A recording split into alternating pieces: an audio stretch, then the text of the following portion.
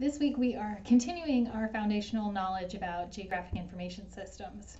We'll get a little bit more technical this week as we start to dive into some of the key terms and concepts that are going to help us navigate the rest of the course. Uh, we'll start by talking about different data models. Now, data models are how we represent the Earth surface in a digital format. Um, they're always a simplification of what the Earth actually looks like, and we'll take some um, uh, or you'll get a chance to look at the differences between them and see some of the positives and negatives associated with two different data, data model types.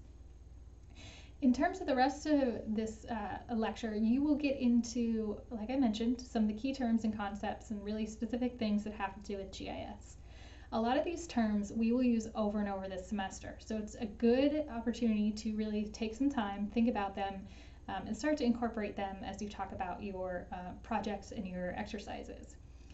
We'll start with the overlay concept. That's one of the key foundations of GIS, that idea that we can take two different sets of data, set one on top of the, the other, and start to solve problems, make decisions, and get information from that. So we could get a layer of floodplains, and we could get a layer of um, residential houses and see where people are living in a floodplain, making sure they have access to um, flood insurance or buying flood insurance.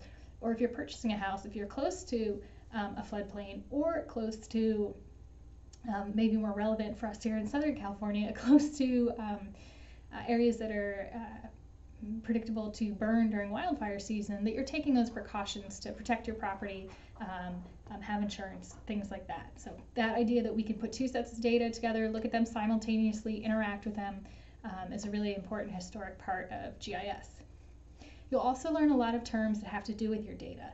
Um, so not necessarily how to manipulate it yet, but how to understand your data, judge how good quality uh, of data you have, and um, some of the things you can learn about your data.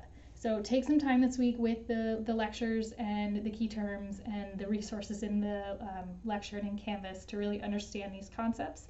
It'll give you a good foundation as we move forward.